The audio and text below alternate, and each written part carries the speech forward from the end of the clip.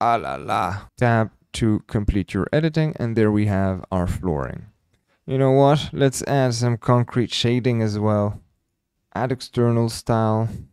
Then shift F to... I can't flip this. Oh no. Okay, so we've managed to draw walls and slabs and then windows and doors and you may notice that I have styles which you do not. The reason for this is because I used the library file which contained a lot more windows and I just carried on with placing them.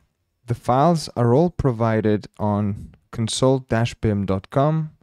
Go to the Blender BIM add-on course and a relevant tutorial, so for windows and doors, the end of tutorial file is available to download here.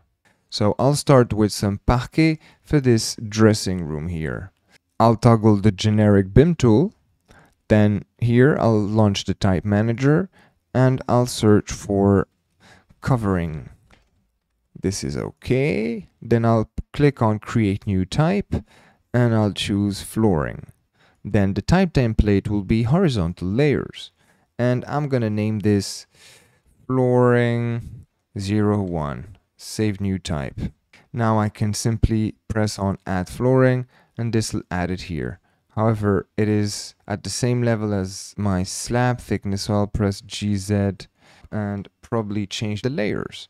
I'll go to the scene properties geometry and materials edit. I'll change the current material layer to wood. I don't have any wood.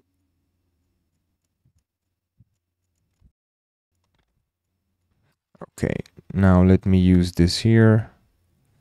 Parquet, save changes. The thickness is only 0 0.03. Save changes. And I'll add a layer of cement. So I need some screed as well. So I'll add a layer here of screed. And this will be 0 0.07. Save changes. Accept. I can go to my viewport shading and I'll remove the scene world and the scene light and here I'll go to material properties. And this is called default 001 for some reason. It just didn't update correctly its name but it should be parquet. It's okay. We'll add a style and we'll turn it orangey. Yeah let's make it brown and now we'll also add an external style and I'll provide the files also in the same website I showed you earlier. So add external style under wood, wood, I'll choose the data block materials, yeah. Then we need the parquet, browse external style, and I can hit refresh, nope, external, there we go. The scaling seems odd but it's okay. Press GZ, edit this. I will go into edge mode, we'll select that, GX, GX, no, GX, GY. Let me get out of this render view mode. Top view, select this, GY. Tab to complete your editing and there we have our flooring. Now I can duplicate this here, press edit and continue editing. Then with this edge selected, vertex mode, I'll press Ctrl R and add one point. Oops, I needed another point. I'll just cut it here. Okay, tab, and there we go. We have flooring there and there. Let's look at this. Magnificent. I've duplicated this covering. I'll just move it here. I'll go to object, mirror, X local, GY.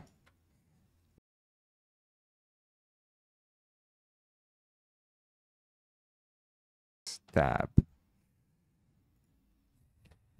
This is starting to look really nice. Now I'm going to open the same file again. Okay, let's have a peek.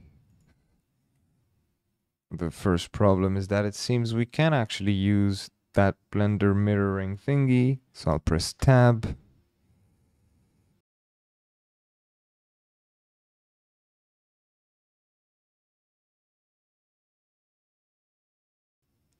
There we go.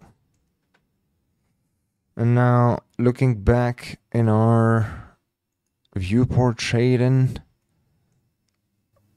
this looks nice and neat. Ah la la. You know what? Let's add some concrete shading as well. Add external style.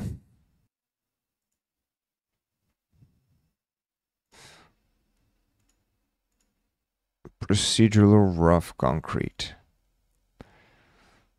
Refresh. Oh my goodness. And our windows need some transparency. Use no no. Use nodes on the glass. Control Z. Use nodes on the glass alpha. Whoopla. This is starting to shape up, isn't it? Alright, let's carry on. Now, we'll draw some wall finishes, and it's no different to these coverings. Let's toggle the type manager, press on create new type, and this time it'll be user defined. Type template we'll use vertical layers, and we'll name this wall finish 01. Save new type. Put my cursor there, then I'll make sure I have my painting and I'll press add. Now this is too thick, so let's change this scene properties, geometry and materials, edit, thickness will be 0.01. This should be plaster and painting. So we'll create the material.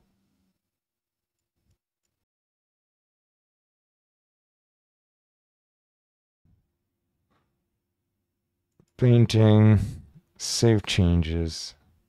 hit Shift R to rotate this, GZ, GX, GX again. Shift E to extend. Let's look at the active tool. The height is too big. Select first my covering, then my slab and hit Shift E. Oops. Do I have two coverings here? Yeah. Shift D, then Shift F to. I can't flip this. Oh no. Shift D, Shift R, Shift E. No. This and that. Shift T.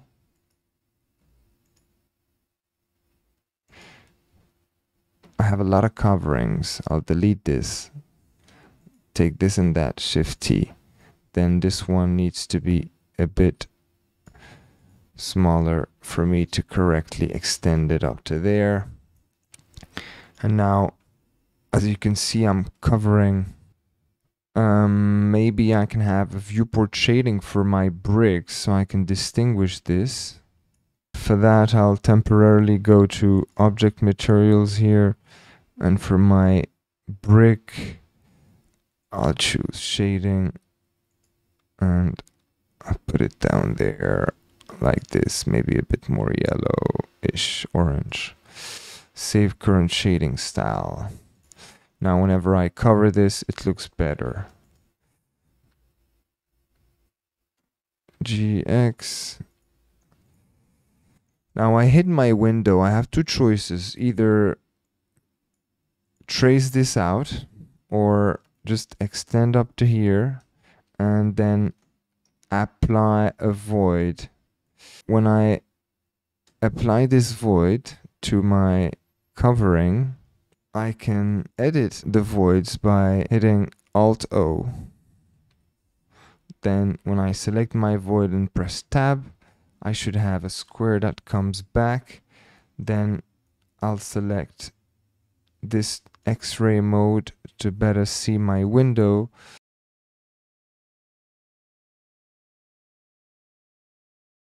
And tab should save yes.